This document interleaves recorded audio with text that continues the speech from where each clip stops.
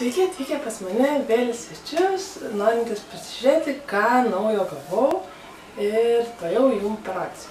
E, Pradėsiu nuo to, kad gavau, žinokit, labai netikėtą dalyką. Gavau va šitokį va dalyką prie savo siuntos, va šitokį dalykėlį. Tuoj parodysiu jums, kas tai čia yra. Čia yra šitai parašyta. Tupperware Big Party. Tada yra parašyta čia. Aš to jums paskaitysiu. Parašyta, Tomas sveikina tapus vadovę.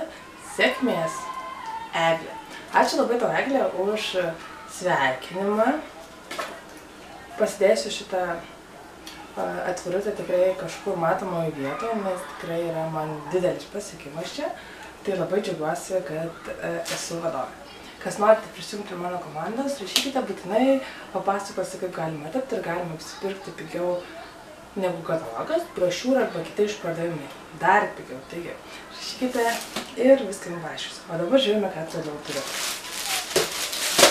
Aš visada matydavau, kaip tu pervarė uh, mokymuose ar kažkur naudoja prijuostis.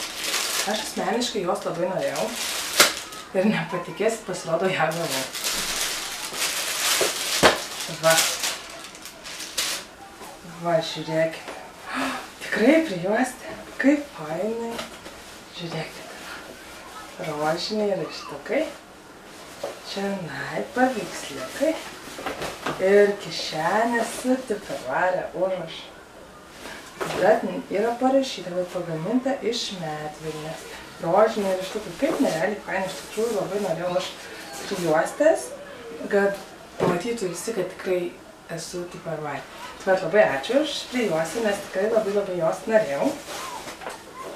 O dabar žiūrėkime, kas toje dėžėje, nes net, ne, net neįsivaizduoju. Aš iš pradžių galvoju, ką aš jau užsisakiau į tą dėžę, dinti galvą, tai kad nieko neužsisakiau.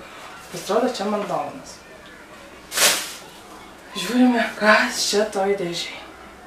Yra parašyta taip va, tu pervarė, tu pervarė, vien tu pervarė. Ir kažkoks dubuo. Ir palaukit, gal kažkas čia parašyta? Ne. Nieko nėra parašyta, bet išpakuosim ir pažiūrėsim ir pamatysim, kas jame yra. Kažkas gražaus.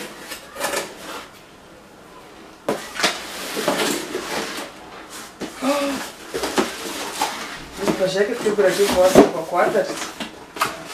Bandykite atspėti, kas jis ten yra.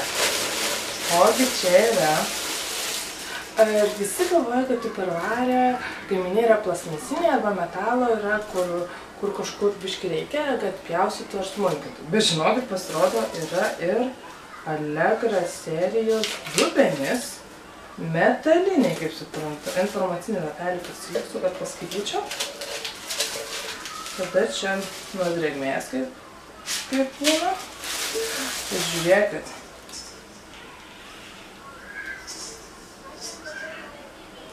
Penkių litrų dubuo.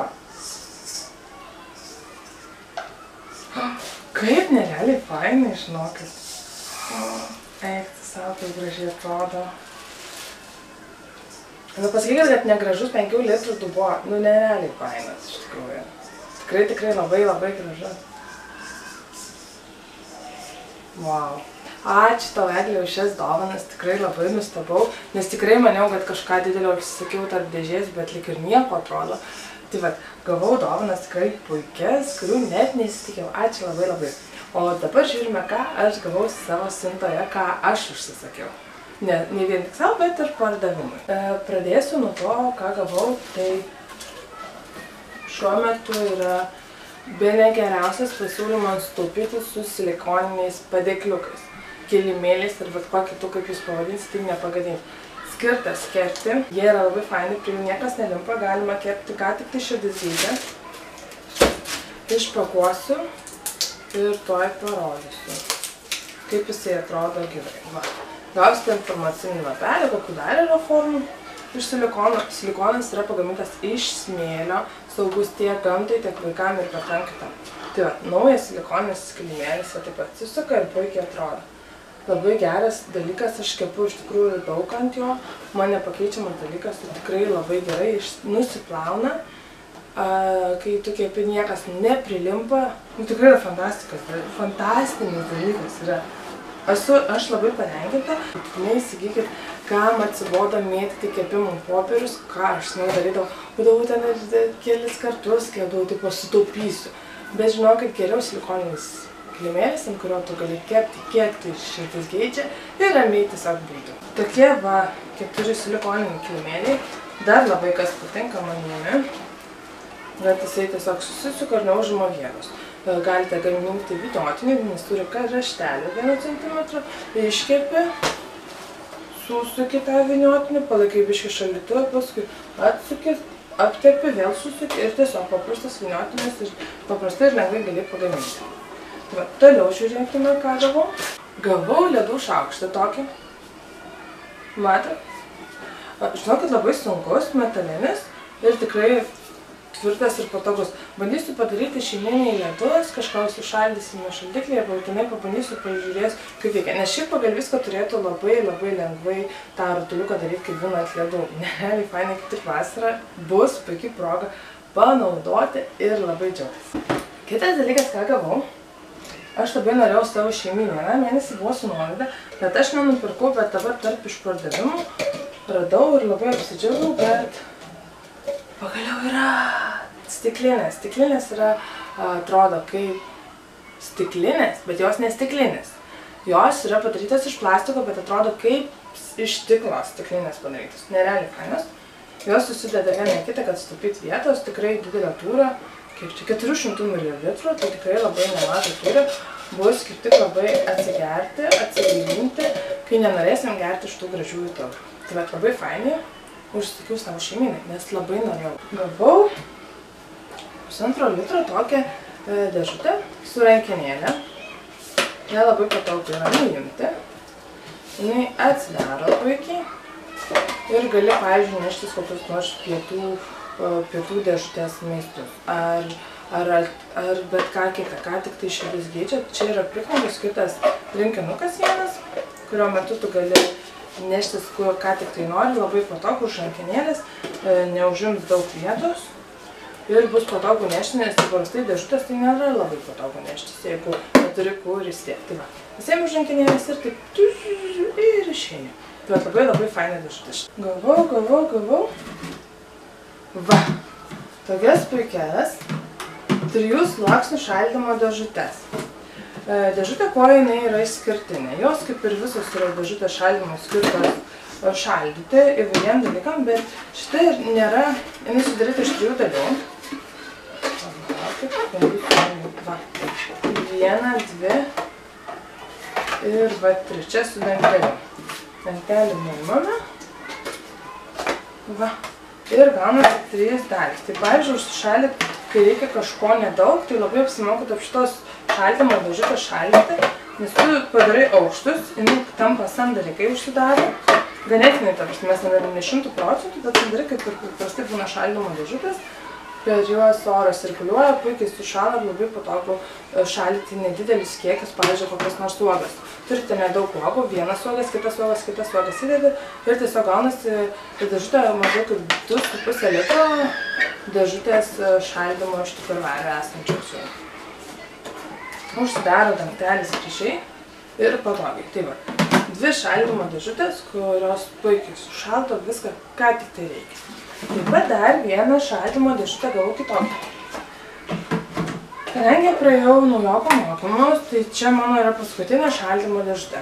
Tai ant jos yra sniegutis, kurio metu visas šaltis kaip ir ant anų, prie šonų nebent truputį pritraukė, bet šiaip nieko, nieko nesušaldo ledą, kaip įprastai, kad daug daug šaldo.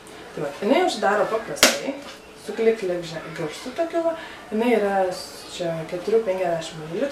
Man labai yra patogu tokiuose dėžutėse šaldyti, tarkim, išsivedus daugiau pupų ir tas pupas tiesiog paimu, į tas dėžutės, užšaldau, kai reikia išsitraukti.